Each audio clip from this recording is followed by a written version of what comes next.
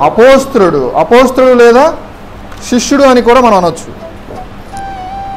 శిష్యుడికి భక్తుడికి తేడా మీకు తెలుసా? శిష్యుడు అంటే ఏంటి భక్తుడు అంటే ఏంటి భక్తుడు శిష్యుడు ఒకటేనా? కాదు. భక్తుడు అంటే దేవుని నమ్మినవాడే శిష్యుడు దేవుని నమ్మినవాడే. ఇందులో రెండు ఒకటే. కానీ భక్తుడు దేవుని వాక్యానుసారంగా జీవిస్తాడు.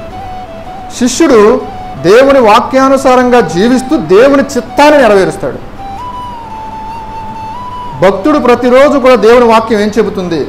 వాక్యానుసారంగా జీవిస్తూ ఉంటాడు. శిష్యుడు జీవిస్తాడు.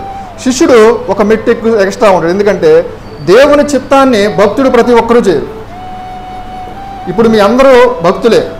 ఉదయాన్నే లేస్తారు ప్రార్థన చేస్తారు బైబిల్ ధ్యానించుకుంటారు మందిరానికి వస్తారు వాక్యానుసారంగా జీవించడానికి ప్రయత్నం చేస్తారు.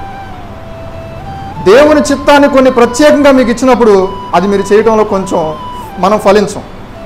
కానీ శిష్యుడు ఎప్పుడు కూడా దేవుని చిత్తాన్ని చేస్తాడు. ఇవన్నీ చేస్తూనే దేవుని చిత్తం ఏమిటో చెప్పాడనుకోండి.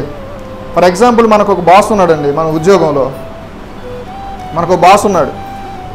ఆయన చెప్ ఒక పని చెప్పాడు.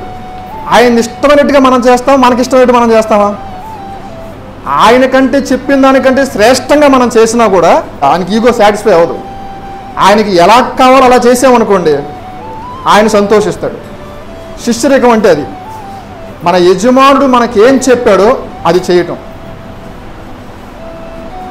భక్తి శ్రేష్టమైనదే కానీ శిష్యరేఖం అంతకంటే శ్రేష్టమైనది. అందుకే అపోస్తుడు అంటే ఏంటో కాదు శిష్యరికం మనం ఎలా ఉండడానికి పిలిచాడంట? అందరూ భక్తులుగా ఉండటానికి మాత్రమే కాదు మనం శిష్యులుగా కూడా మారాలి. అందుకే పౌలు అంటాడు కదా కాలాన్ని బట్టి చూస్తే మీరు అందరూ బోధకులుగా ఉండవలసిన వారు కానీ మీరు ఇంకా పాలు తాగే స్థితిలోనే ఉన్నారని. అంటే ఇక్కడ భక్తుని దేవుడు తక్కువ చేయట్లా. భక్తులుగా ఉండటం గొప్ప విషయమే.